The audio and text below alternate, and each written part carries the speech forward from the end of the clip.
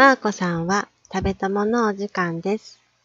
今日は16品目のサラダを作りたいと思います。早速ですが、こちらをどうぞ。今回はお料理動画第1弾としてサラダを作ってみたいと思います。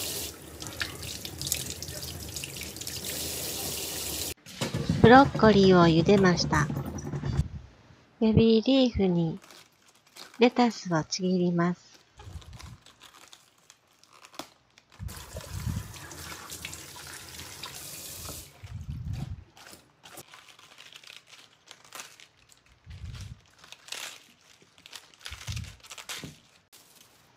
冷蔵庫にあった新玉ねぎを出してきました。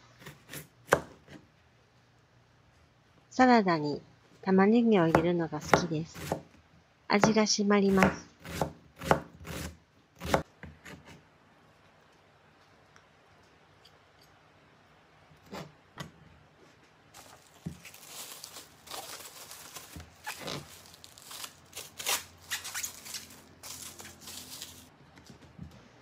続いては、これまた冷蔵庫にあった人参を出してきました。人参は皮ごと使うのでよく洗います。スライサーを出してきました。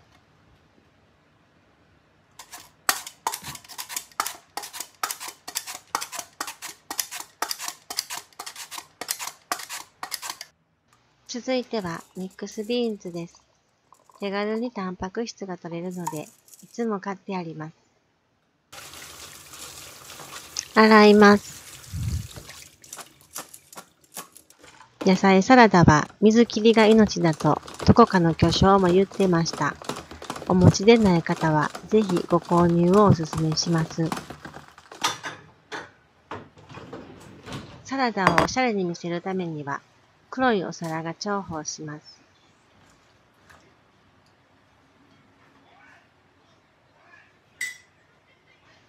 ブロッコリーを飾ります。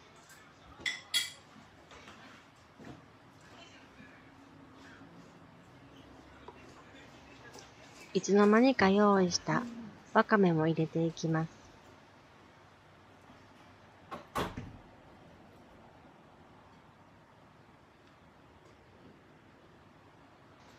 お味噌汁で余ったお豆腐です。彩りの味方、プチトマトを飾ります。こちらは先ほどのミックスビーンズです。冷蔵庫にスライスチーズがあったのを思い出しました。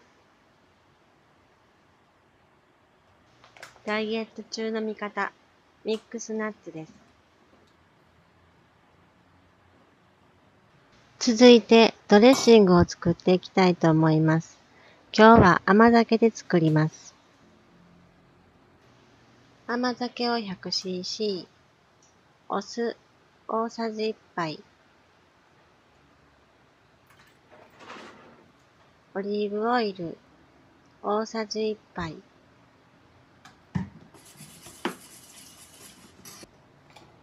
お塩少々、胡椒少々、よく混ぜて出来上がりです。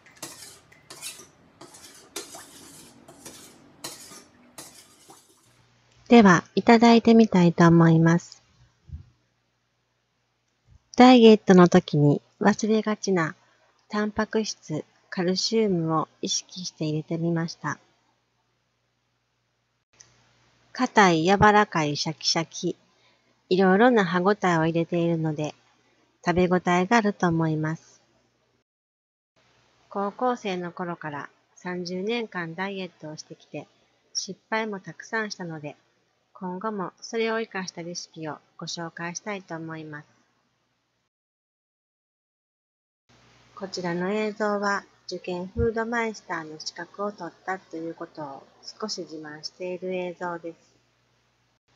受験フードマイスターとは食事と育農の関係について学びながら受験や大切な試験の前にどんな食事をとったらいいかということを考え、献立を組み立てていきます。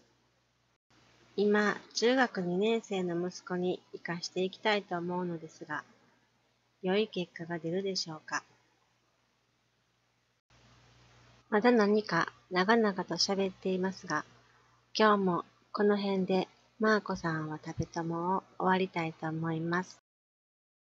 ごちそうさまでした。